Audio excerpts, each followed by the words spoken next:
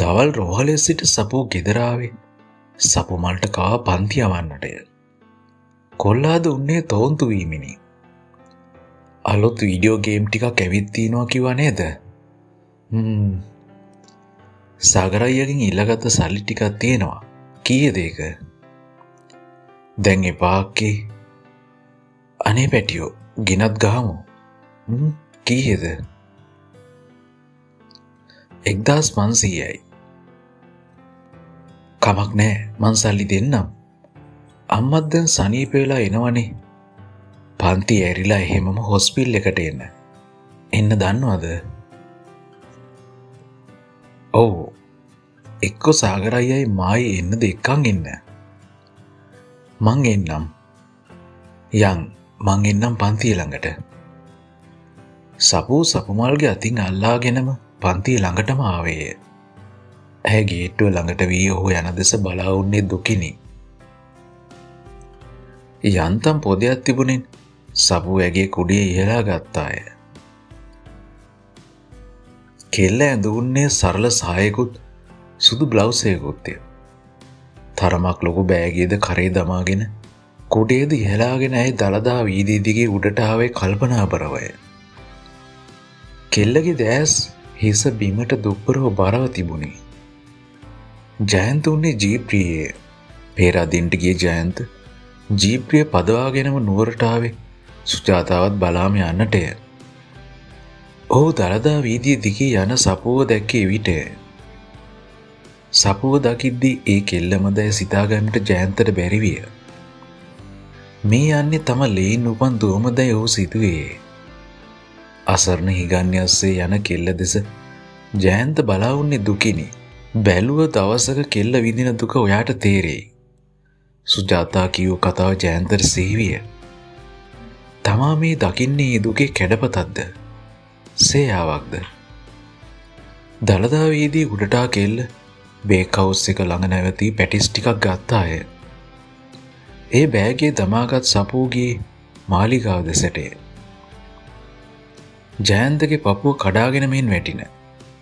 ලෝකයක් රකිද්දි තමාට තම දරුවන් රැකගන්නට වෙලාවක් නැතිවූ හැටියයි ඔහු දුක්විය සියල්ලටම මුල කෙල්ලව හදිස්සේ විවාහ කරදීමද ජයන්තය ගැන හිතන්නට පවා බියවිය මාලිගාය දොරකඩ ළඟ කෙල්ල වැඳගෙන සිටිද්දි ජයන්තට දරාගන්නට බැරිවිය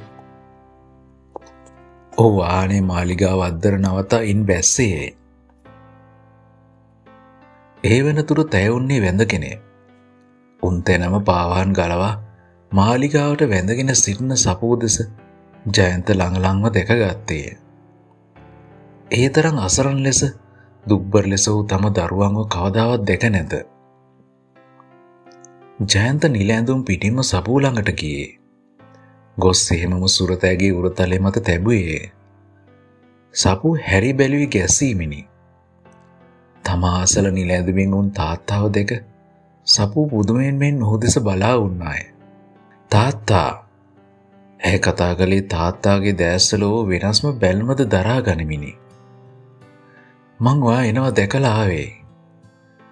මන්තාත්තා දළදාවීදි දිගේ උඩට එනවා මන් දැක්කා. මං මේ අම්මියෝ බලන්න යනක මන්තාත්තා යං ජයන්ත හෙමම ඉද මාලිගාවට වැන්දේ පසු හෝ සපුව වාහනයට එක්කාගෙනාවේ ඇගේ කරට අතත්ද දමාගෙනේ. ඇයිවා මේ පයින් යන්නේ? සීය එක ඉන්න තිබ්බනේ. තාත්තට තමා පයින් යනවා දෙක දුක හිතින්නට ඇත. එහෙත් ජීවත්වන හැම කෙල්ලෙට්ටම වගේ තමාටත් මේවා නුපුරුදු දේවල් නොවේ. සීයට එක දිකට ඩ්‍රයිව් කරන්න අමාරුයි.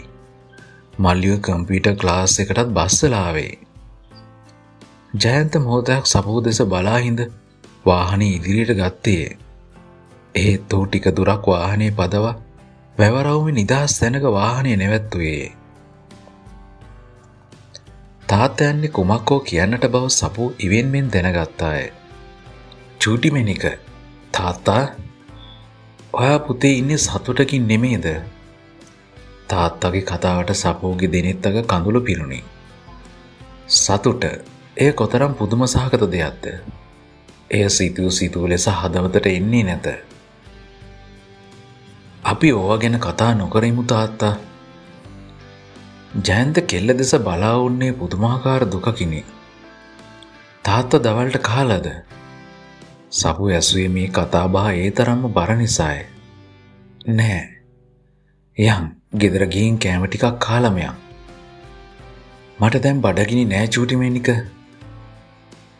සපුූ එහෙමම දෙනෙත් එසෙව්වාය ඒවා කඳුලින් පිරී තිබුණි. අපේ ජීවිත කොතනහරි වැරදුනා තාත්තා?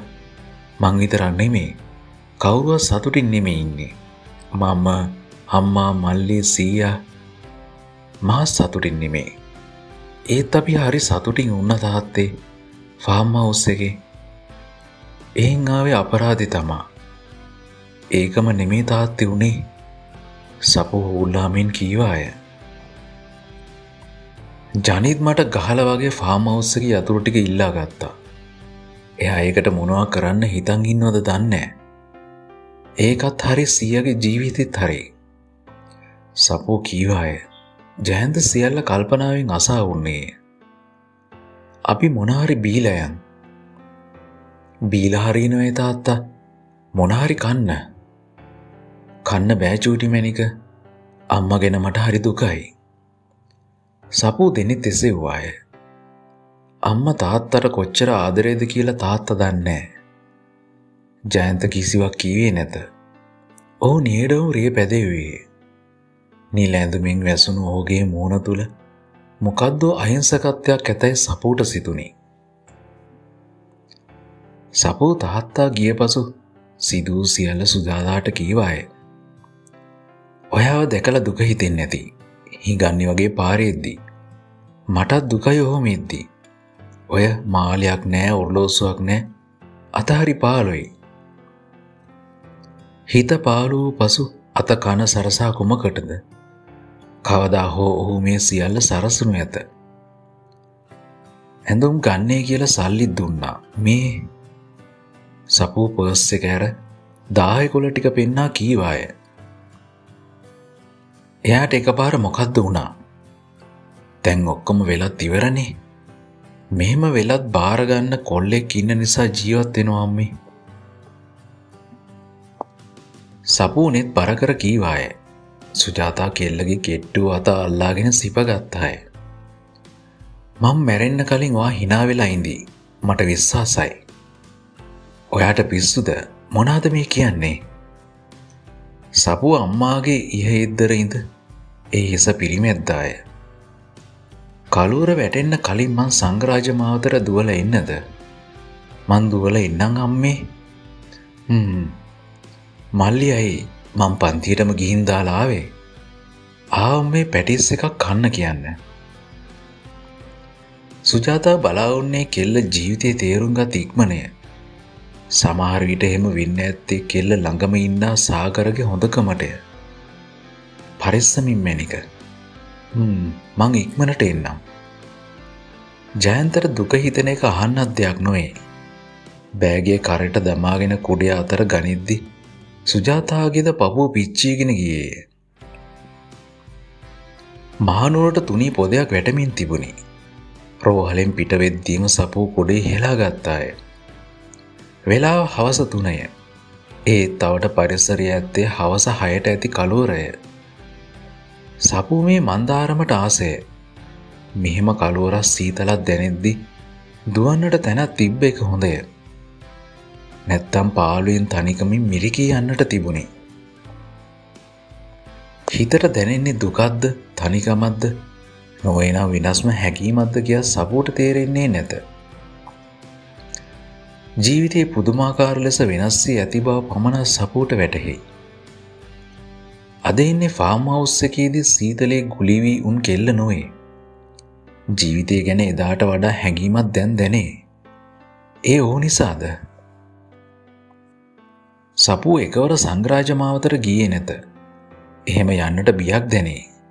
පරිස්සං කළයුත්තේ ඔහෝය. මලක්මෙන් පිපීගෙන එන මගේ ජීවිතේ අනතුරක් ඕ ජීවත්වන්නට නොහැක. සපූට අවුමට ඇවිදගෙනාවේ හීන් පොදේ අතරෙනි. නුවර එලියට වඩා නුවර වෙනස්ය. නුවරෙල්ලේ මේවන් සැන්දෑවන් වලදි මීට වඩා සීතලය.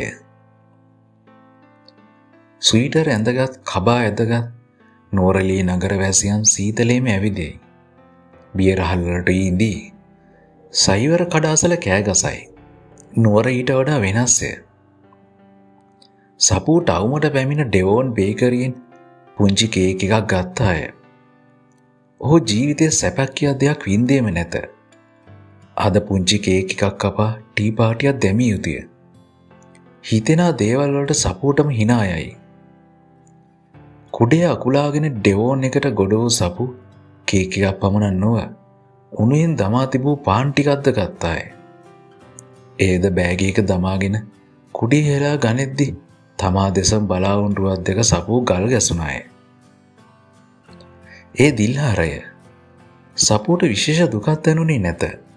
ඒත් මේම සිටිද්දි ඔහුව දුටු එක ඇගේ හිතර හරි නැත. චූටී දිල්ලාර ළඟටාව එහෙම කියාගෙන මේ. කේකිකත් පාන්න එකත් තිබූ බෑගේ අනිත් අතරගත් සපු කුඩේද අකුලා ගත්තාය. දිල්හාරයියේ චූටි කොහෙද මේ?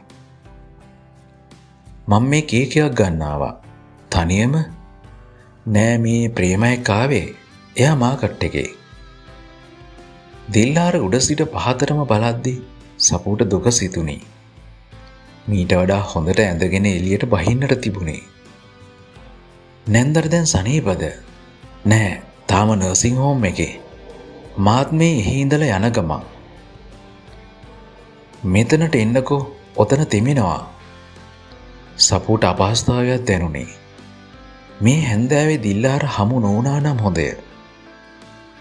මන් නැන්දව බලන්න ඉන්න හිටියේ. දැන් අම්මට හොඳයි. මාත් සෙටල් වෙන්න යන්න චූටි? තාත්ත කිව්වා. මං විශ් කරන්න හිටියේ. සපු අහිතක් නොමැතිව සිනාසී කීවාය. ප්‍රොෆෝසල් එකක්. අම්මල බලලා තියෙන්නේ හොඳ ගර්ල් කෙනෙක් අනේ හොඳයි ඉතින් කවදද වෙඩින් එක ලබන මාසේ අම්ම වෙඩින් එක කියන්නේ ඔයාට හස්බන්ටයිත් වෙනමම කියන්න එනවා කිව්වා සපෝගෙ දෙනෙත් බිමට බරවිය. ඉතින් කොහොමද චූටි ජීවිතේ? ඒ ප්‍රශ්නයට සපෝගෙ පපුව හෝස්ගාමයෙන් පත්තුවිය. හොඳයි. සපෝගෙමුවෙන් වචන පිටුවේ උගරෙන් මිනි. දිල්ලාර තමාගේ ඇස් අතර මුණවදෝ සොයන බවත් සපූට දැරුණි. ප්‍රේමා බලන් නැති මයි යන්න ආයේ. මං එන්න නැන්දව බලන්න. මන් රොප් කරන්නද? සපෝ කුඩි ඉහෙලා ගත්තාය.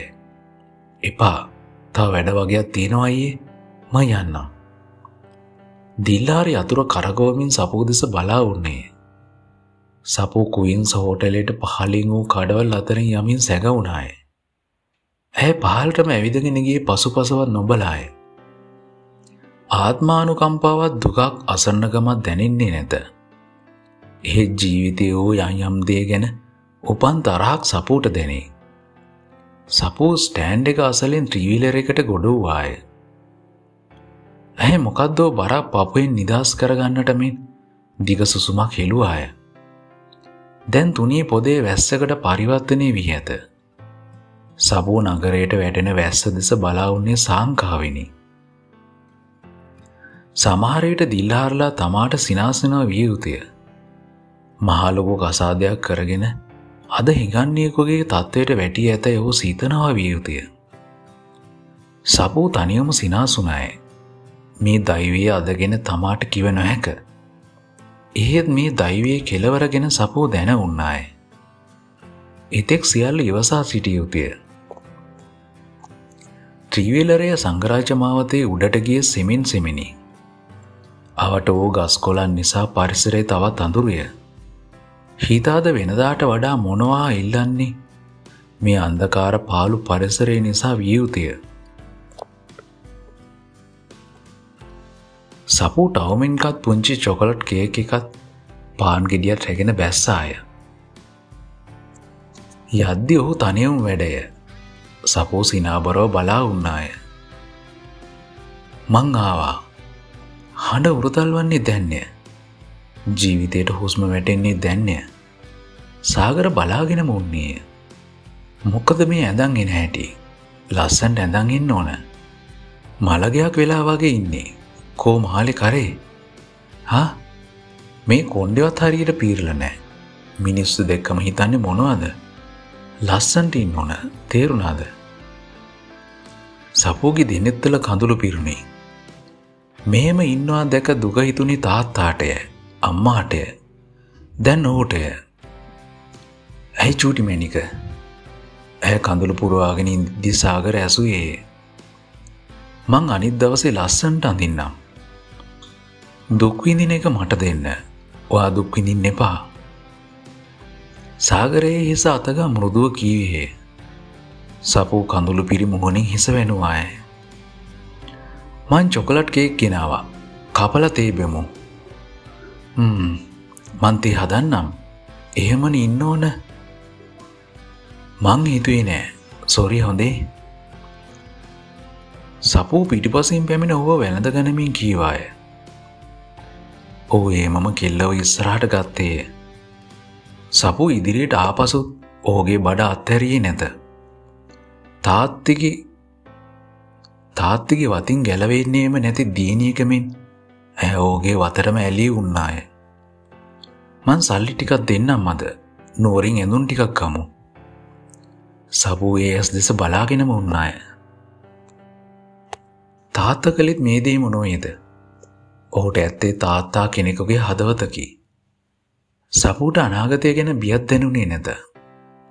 ඇයි එපාද අද ඉතින් මං මෙහෙමම ඇඳගෙන අමියෝ බලන්න එද්දි තාත්ත දැකලා මං උන්නේ කුඩෙත් ඉහලගෙන දළදාවීදී. ශුවර් එකට ලොකු මහත්‍යයාගේ පපුුව පිච්චෙන් නැති වෙන මොනාවෙන් නැද. සාගර කියද්දි සබූට පුදුමය ඒ මොහොතේ තාත්තගේ මුහුණින් පෙනුණි ඒ පිච්චුණු පපුුව නොවේද. ඔවු තාත්තගේ ඇස් දෙකත් තිබ්බි මේ වගේ මේ සපූ තාත්තා දුන් සල්ලි ටික බෑගෙන් ගෙන හුට පෙන්නු අය. ඇඳුම් ගන්නේ කියලා සල්ලිත් දුන්නා. ඇත්තනි චූටි මැඩික ඉතින්. ඒ මගේ තාත්තා එතකොට ඔයා සාගර කතානකොර එහිස පිරිමැත්තේය. මේම ආදරෙන් මාව බලාගන්න මං චූටි දුවෙද්ද. සාගර කතා නොකරම හිස වෙනුවේ. ඇය හුල්ලා මෙන්නේ පපුුව වැරෙන් වැළඳ ගත්තාය. මට ඇඳුම් ඕන නෑ රත්තරං මං පලිගන්න වගේ හිතල මෙහෙම ඇන්දේ. හිතර කිසිම සතුරත් තිබ්බෙ නැතිනිසා. ඒත් මෙහෙම උන්නාම දුක හිතෙන අය ඉන්නවා කියලා හිතුනෙ නෑ. මන් ලස්සන්ට ඉන්නම් හොඳේ. සාගර කෙල්ලගේ හිස අතගාමින් සෑහෙන වෙලාවක් උන්නේ. මාර වැස්ස නේද. පුංජි චොකොලට් කේක එක කපා කිරිකෝ විද හදාගෙන කාමරේ ගඩොල් බිත්තිය අසලූ ඇඳමත ඉඳගනිද්දී සපු කීවාය. ජනේලයක් නැති කවුලු විවරයෙන් වැහි තුවාන ඉදිහිට පහත්වෙයි. සපූ චොකලට් කේක් කෑල්ලක් ගෙන ඔහුගේ මුවට ලංකලාය.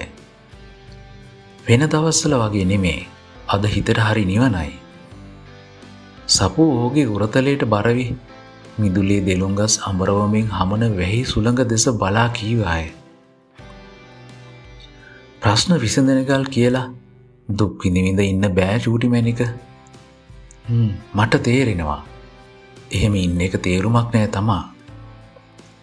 මට ජීවත්වෙන්න ශක්තියක් දුන්න චූටි මැනික අනේ මේ පාංගඩ කෙල්ල ශක්තියක්ද සාගරයට පහරක් ඇසුයේ කවුද කිවී පාංකට කෙල්ල කියලා අර පිස්සු දොස්තරද සපුට හිනාගියේ මං හිතුව එයත් එක්ක තරහ නෑ කියලා. මං වෛර කරන්න ඉගෙනගෙන නෑ. මන් දන්නවා. ඔයා මේ ලෝකෙට හොඳ වැඩි. සපෝ සෙමෙන් සෙමින් ඔහුගේ කමිසේ බොත්තන් ගලවා සීලැල් පපුුව නිරාවරණය කරගත්තාය. ඉන් පසු ඒ පපුුවට මුහුණ තබා ගත්තාය. ජීවිතයට හුස්මක් ඉන්නේ දැන්ය. මං කේක් ගන්න ඩෙවෝන් එකට ගියානේ.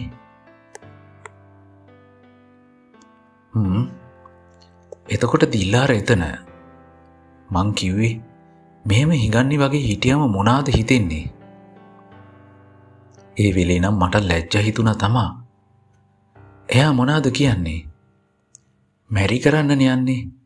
මට කියනවා හොඳ ගර්ල් කෙනෙක්ලු. ඉතින් මා විශ් කලා සාගර මොහොතක්ගේ ඇස් දෙස බලා උන්නේ චූටි මැනිකට දුකද? මට දුකයි නෑසාකරයේ ඒත් එක දේකට දුකයි. මොකටද?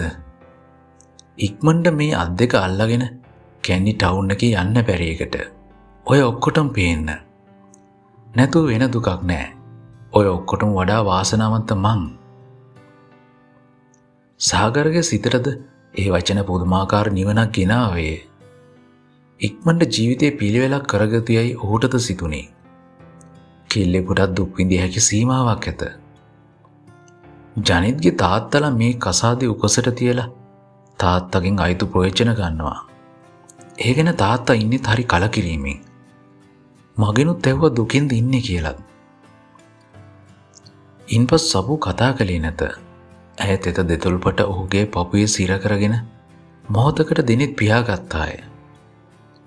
මෙහෙම වෙන කෙනෙක් එක්කත් ඉන්නවා කියලා හිතනවද. සාගර කතා කළේ නැත. කතා නොකර ඉන්න දුකටද චූටිමෙන එක ඉක්මට මංගාවට එනවනේ මං අපේ ආදරේ වෙනින් පිරිස්දුගම රකින්නම් ඒ කොතරම් අමාරුදය සාගරධනී ඉක්මන්ට මංගාවට එන්න මේ ඔක්කොම කරන්නේ ඒකට නේද මන්දන්නවා කිරිකෝපියක බොමු සාගරයට පෙව්වේ තව ටිකකින් යායුතය ඒත් මේ වැහිබර හැන්දෑවේ මේ පුංචි කාමරෙන් යන්නට හිත්දෙන්නේ නැත. කොහොමටත් නැත. කිරිකෝපයක බිව් පසු කෙල්ල එහෙමම ඇඳ මතට වැටුනාය. ඇගේ සුන්දර දෙපා තාමත් ඇඳින් පහලට බේරෙයි. සාගර පහත්තිී දෙපා ඇටින් සුරතයවා ඇය ඇඳේ ලස්සනට තිබ්බාය. පසු ඇගේ බදට එහයින් අත තබා ඒ මූුණ දෙසම් බලා උන්නේ. ඇගේ ඇස් වරක් පියවී අලිත් ඇරුණේ. ඇස්වලින් ඇයි කිවේ එන්නේ අයි කියාය. වැස්ස පරිසරේ තවත් අඳුරු කර තිබුණේ ඔහු සෙමෙන් සෙමින් ඒ මූුණට බරවෙද්දි සපූ සීදලට ඉස්සි ඒ සිරුර තම ලයට ඇදගත්තාය.